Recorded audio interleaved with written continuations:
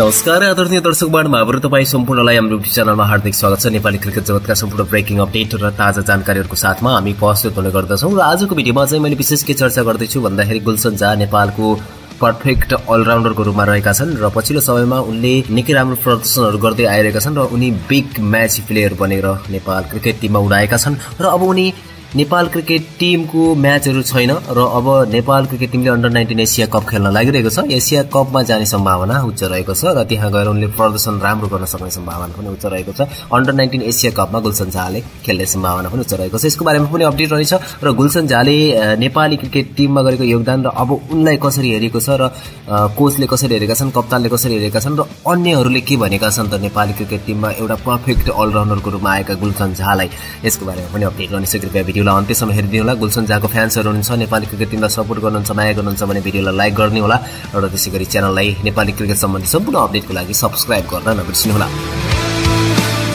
Nepal cricket टिमले एक दशकपछि T twenty विश्वकपमा स्थान बनाउँदा गुलसन बेस्ट नेपाली प्लेयर बन्न सफल भए। घरेलु मैदानमा भएको एसिया चरणमा पनि युएलाई हराएर फाइनलमा पुगेसँगै नेपालले विश्वकपमा स्थान बनाएको थियो र फाइनलमा भने समय चरणमा हराउन नसकेको उमानसँगै पराजित हुन पुगेको थियो र रनर अप बनेको थियो। प्रतियोगिताभर उत्कृष्ट अलराउन्डर प्रदर्शन गरेका गुलसन झा नेपाली खेलाडीहरूमा उत्कृष्ट घोषित पनि भएका थिए। मिडल ओभरमा कसिलो बोलिङ गर्दै विकेट पनि लिन उनले सके र अनि टिमलाई चाहिएको बेला जुनसुकै पोजिसनमा गएर पनि उनले ब्याटिङ गर्न सके। र आफू पर्फेक्ट अलराउन्डर भएको छनक पनि उनले दिइसकेका छन्। जबकि उनको करियर अहिले अर्ली स्टेजमा नै रहेको छ। सत्र वर्षका गुलसन झाले पहिलोपटक दुई हजार सतहत्तरमा भएको मेयर्स कपमा सबैको ध्यान तानेका थिए र नेपाल पुलिस क्लबबाट खेलेका उनले फाइनलमा सशस्त्र प्रहरी विरुद्ध लाग्दो बोलिङ गर्दै नेपालका तत्कालीन प्रशिक्षकको ध्यान आफूतिर तान्न सफल भएका थिए। राष्ट्रिय टिममा परिसकेपछि पछाडि फर्किएर उनलाई हेर्नु परेको छैन अहिले। नेपाली टोलीले पछिल्लो एक वर्षमा पाएको अद्भुतपूर्व सफलतामा अभिन्न अङ्ग गुलसन झा पनि बनेका थिए। लिग टूमा पछिल्ला बाह्र मध्ये एघार खेलमा जित दर्ता गर्दा एसिया कपमा भारत र पाकिस्तान जस्ता बलिया टोलीसँग सम्मानजनक प्रदर्शनमा उनले पनि राम्रो योगदान दिन सफल भए।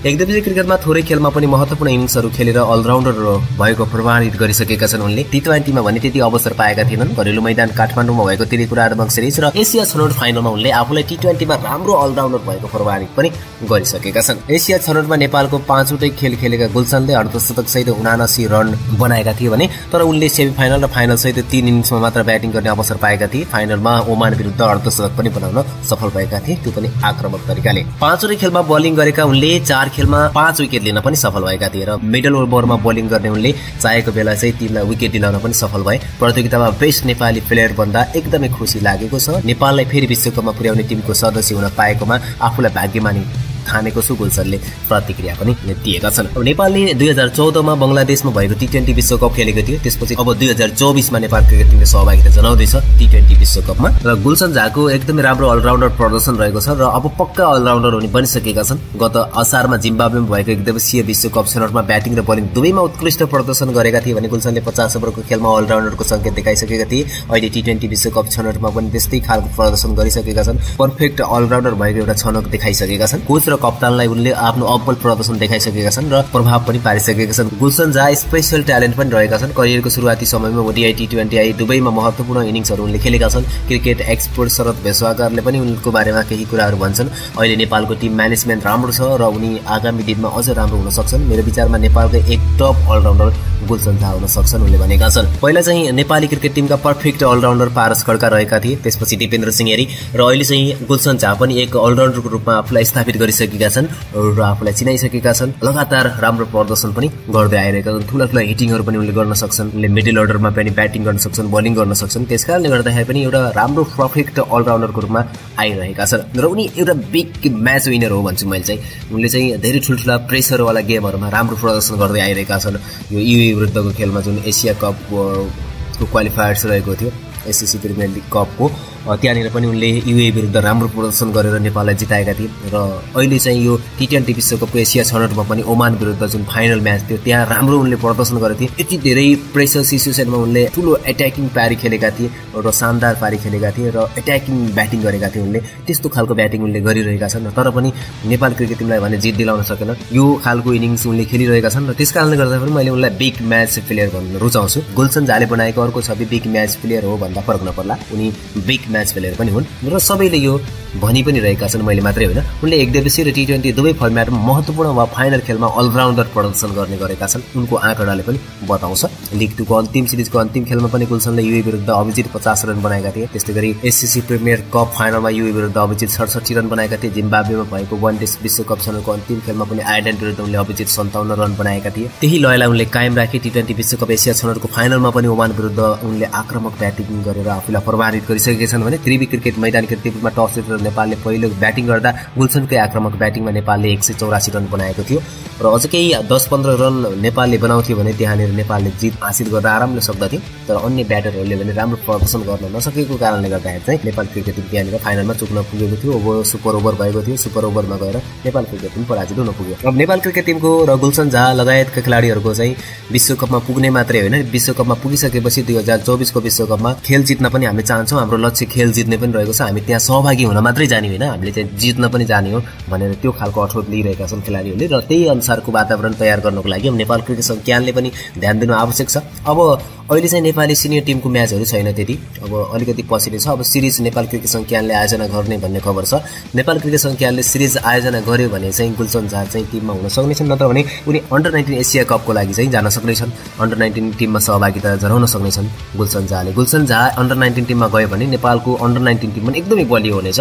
किनकि अहिले नेपाली सिनियर टिमको म्याच नभएको कारणले गर्दाखेरि गुलसन झालाई त्यहाँ पठाउन सकिन्छ। नेपाल क्रिकेट सङ्घ क्यालले पनि यसको बारेमा केही स्पष्टीकरण दिएको छैन। तर नेपाल क्रिकेट टिमका हेड कोच मोन्टी देसाईले भने केही समय अगाडि नै गुलसन झालाई चाहिँ यदि सिनियर टिमको म्याच नभएको खण्डमा चाहिँ विश्वकप पनि खेल्न पठाउनेछौँ अन्डर नाइन्टिन एसिया कप पनि उनले खेल्न सक्नेछन्। अन्डर नाइन्टिन एसिया कपमा पनि गुलसन झाले सहभागिता जनाउन सक्छन् भनेर उनले क्लियर गरिसकेका छन्। त्यस कारणले गर्दा अब नेपाल क्रिकेट सङ्घ क्यालले अलिकति क्लियरले गर्नेछ। यदि गुलसन झा जाने हो भने चाहिँ नेपाली टिम अझै बलियो हुनेछ मजबुत। त्यसो त नेपाली अन्डर नाइन्टिन टिम बलियो छ। गुलसन झालाई पनि त्यहाँ पठाइयो भने अझै राम्रो हुन सक्नेछ र एसिया कपमा भारत पाकिस्तानलाई पनि हराउन सक्ने क्षमता नेपाल क्रिकेट टिमले पनि राख्न सक्नेछ दर्शक महानुभाव यस कारणले गर्दाखेरि गुलसन झा अब नेपाल क्रिकेट टिमको उदयमान अलराउन्डर अलराउन्डरको रूपमा आफूलाई स्थापित गरिसकेका छन्। अब एउटा परिपक्व अलराउन्डर बिग म्याच प्लेयर त्यस कारणले गर्दाखेरि म्याच विनर प्लेयर भनौँ यस्तो खेलाडी बनेर आइसकेका छन्। त्यस कारणले गर्दा अब निरन्तर नेपाली टिममा उनी रहिरहनु एकदमै आवश्यक छ। उनले राम्रो प्रदर्शन गर्नु छ र खेलाडीहरूलाई चाहिँ नेपाली क्रिकेट सङ्घ क्यानले कसरी बिजी राख्छ कसरी राम्रो प्रदर्शन गराउन सक्छ एक्सपोजर दिन सक्छ र कसरी